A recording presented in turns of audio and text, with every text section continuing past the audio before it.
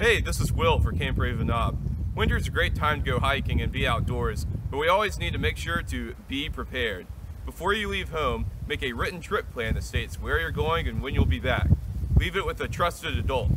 If your park or trail has a sign in and sign out procedure, make sure to follow it.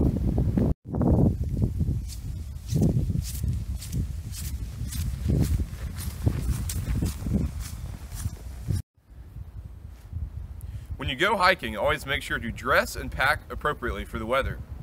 In the wintertime, you need multiple layers of clothing. You need to take extra with you in your backpack. Here I have a moisture wicking base layer, an insulating layer of fleece, and a hard outer shell that's wind and waterproof. Always make sure to take the 10 Boy Scout Outdoor Essentials, throw them in your backpack, and make sure to drink water even if you don't feel thirsty. As you continue hiking and start to warm up, you can shed some of your insulating layers and store them away in your backpack.